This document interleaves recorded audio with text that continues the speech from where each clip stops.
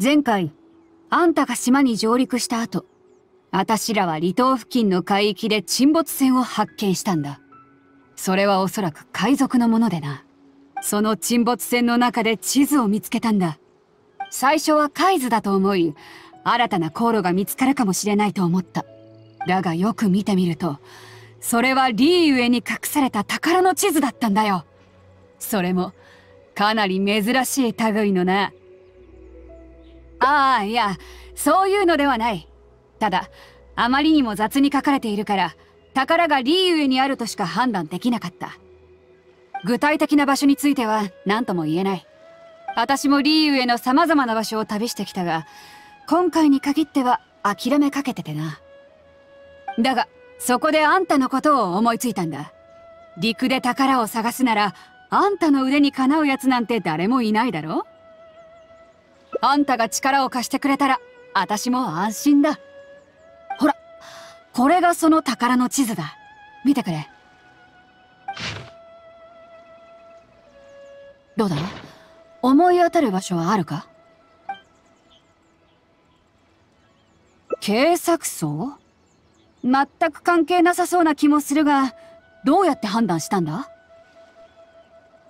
ほう、なるほど。こっち方面のことだと、私はズブの素人だ。あんたがそういうのなら、確かめてみる価値が十分にある。一緒に確認しに行こう。目的地に着くのに、またあんたの力を借りるかもしれない。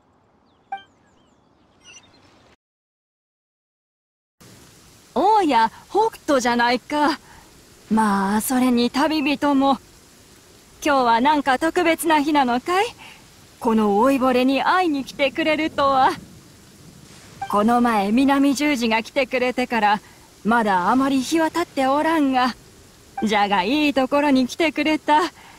そこの二人がちょっとしたことで言い争いをしておっての老いぼれの私じゃ何を言っても聞いてくれん私の代わりに何か言ってやってはくれんだろうかああ弱心ばあさんあんたは先に休んでな。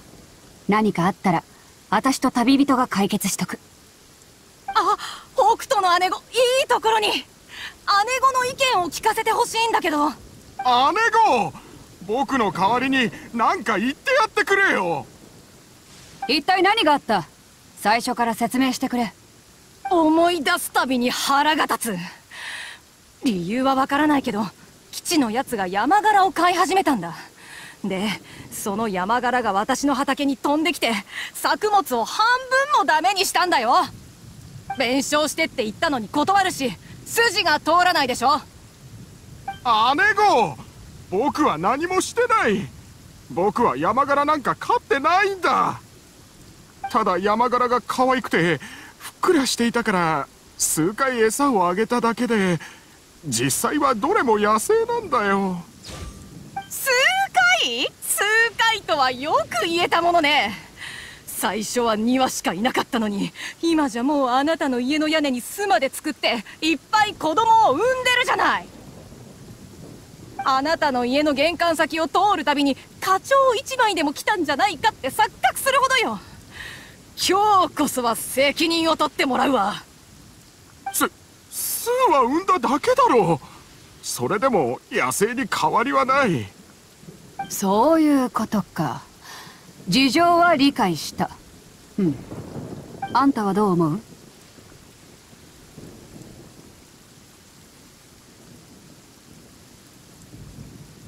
まあ、あんたの言うことにも一理あるな。弱心ばあさん。前に南十字が来た時に保証金を持ってきたはずだが、余ってるか？今回の件はあくまで懲戒。保証金で文営の損害を補うとしよう。ああ、まだ十分残っておるぞ。むしろ南十字が来るたびに持ってきてくれるから、このような小さな集落では余るくらいじゃ。北斗の姉子ありがとう基地は一生弁償する気がなかっただろうし姉子のおかげで助かったよあありがとう姉子がいなかったらこんな大金僕には到底払えなかった。帰ったらすぐ山柄たちを追い払うよ。もう近所の畑を荒らさないように。北斗よ。あなたはこの小さな集落の面倒をいつも見てくれる。私らはどうお返ししたらいいんじゃろうか。ジャクシンばあさんあんたも知ってると思うが警察層の若者たちは南十字で大活躍している。南十字が今日までやってこれたのもあいつらのおかげだ。だから遠慮すんな。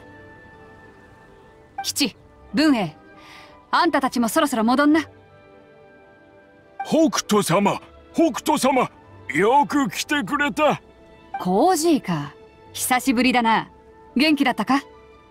はあそれが隣の陣とちょっとした揉め事があってな。まだ解決できてないんじゃよ。北斗様がここに来たと聞いて助けを求めに来たんじゃ。どんな揉め事だ？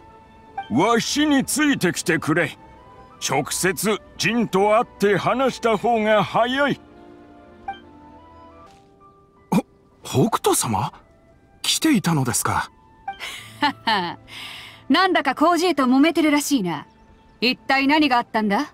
聞かせてみろ。数年前にこの陣が庭に木を植えたのが事の発端じゃ。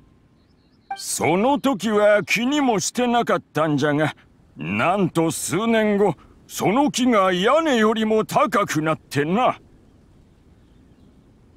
毎朝窓を開けるとその木の影のせいで日の光が入ってこず気分まで落ち込むようになったんじゃ。そこで陣に木を切ってほしいと頼んだ。じゃがこの小僧はこともあろうか断りよっての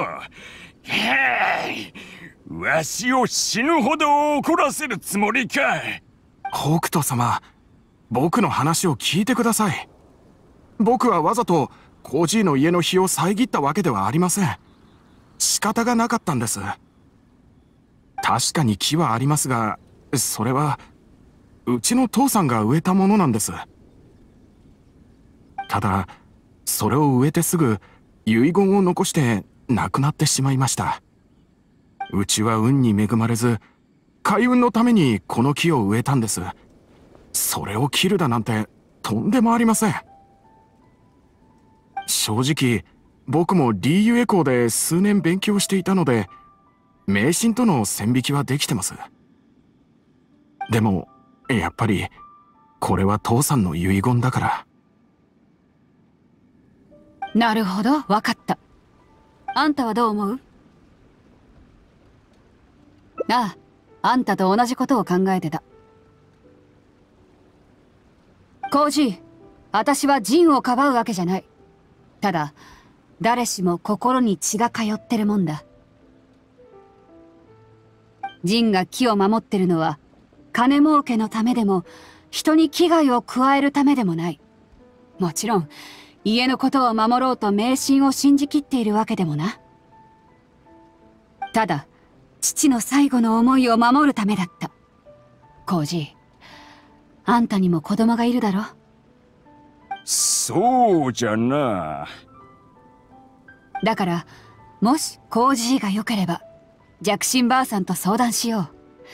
日当たりの賠償として保証金から手当を出してもらうようにする。あの木については。ああいよい。北斗様がそう言うのなら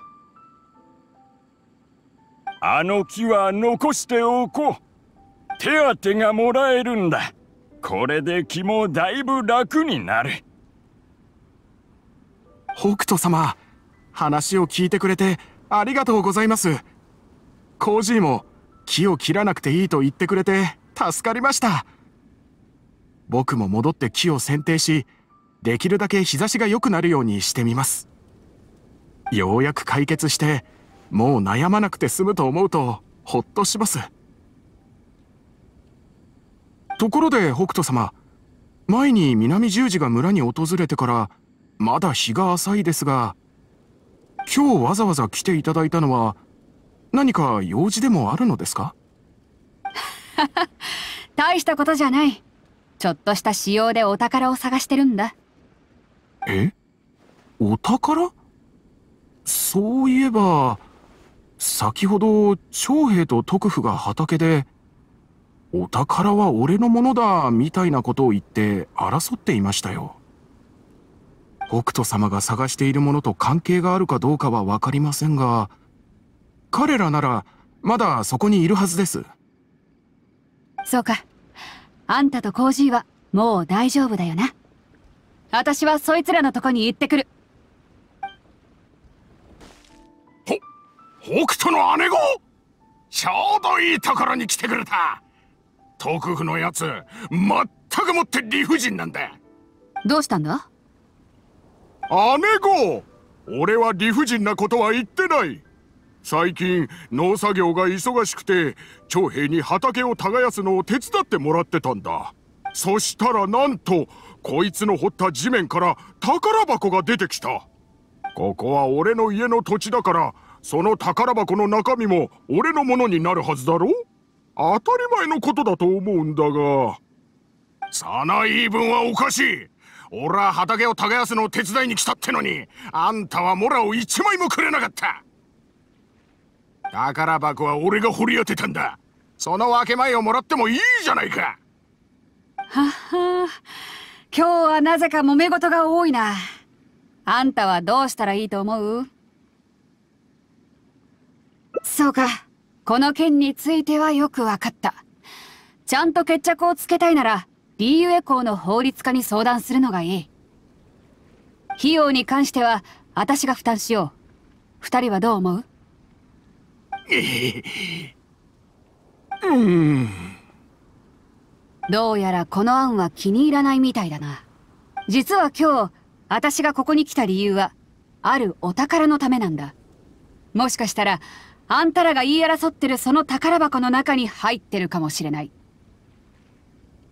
だから二人とも喧嘩なんかやめてここは私の顔を立てるとでも思ってそれを譲ってくれないか？今後もし何か必要なことがあれば遠慮せず南十字を頼ってくれていい。まったく北斗の姉子その言い方は少しよそよそしいんじゃないか？その宝箱が欲しければ持って行ってくれて構わない。ああそうだ。まさか北斗の姉子がこの宝箱を探してたなんて。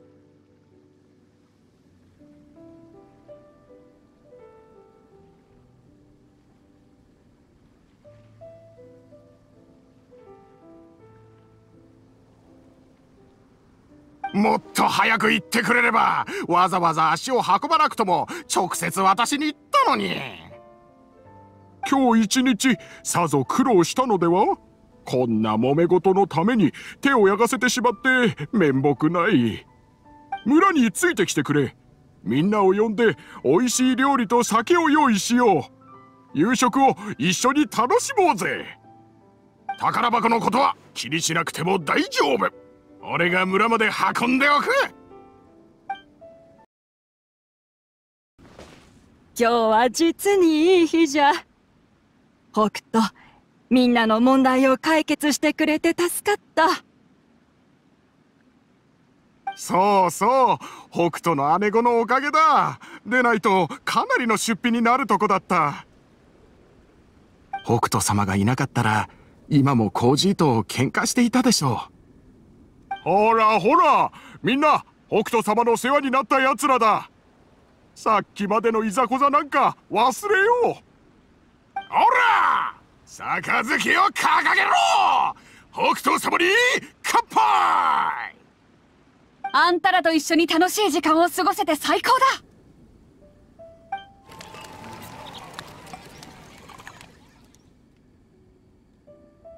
ふわ満足満足。なあ私と一緒に散歩でもしないか？この警察層の景色は大したもんだぞ。ついでに宝箱の中身を確認しよう。長兵が水車のところに運んでくれたらしい。これ式の酒どうってことない。私は北斗だぞ。さあついてきな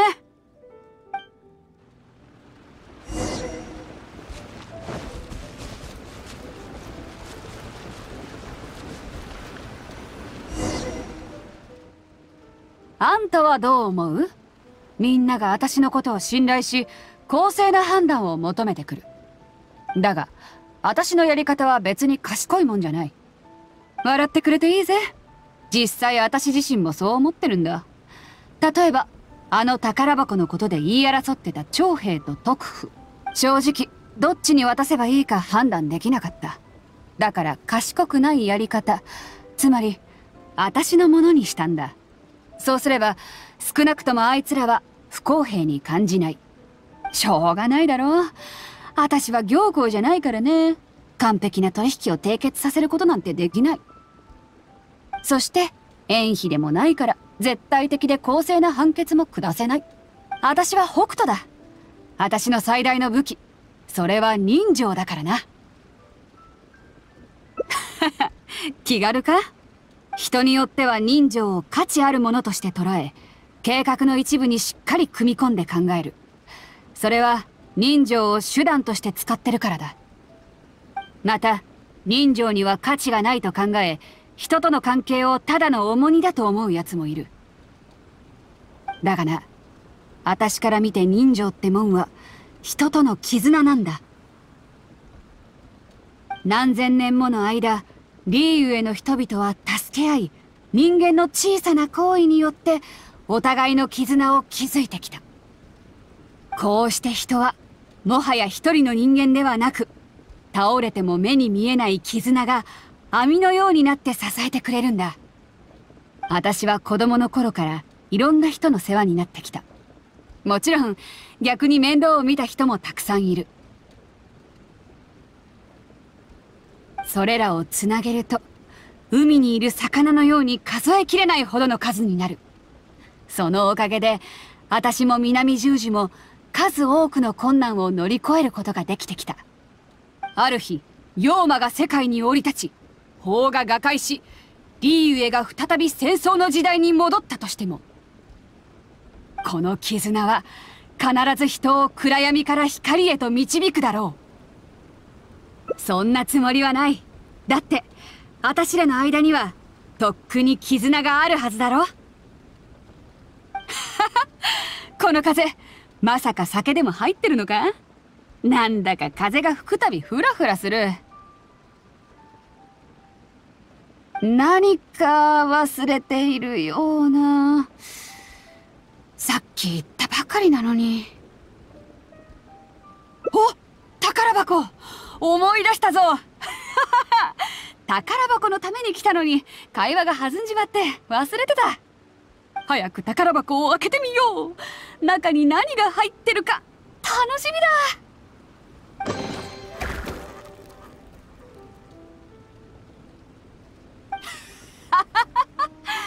なんだこのガラクタは。私が望んでたものじゃないがこの宝箱はあんたと一緒に手に入れたもんだ。全くもって悔しくなんてないぞ。さあ酒を飲みに戻ろう。今夜はとことん楽しんでやる。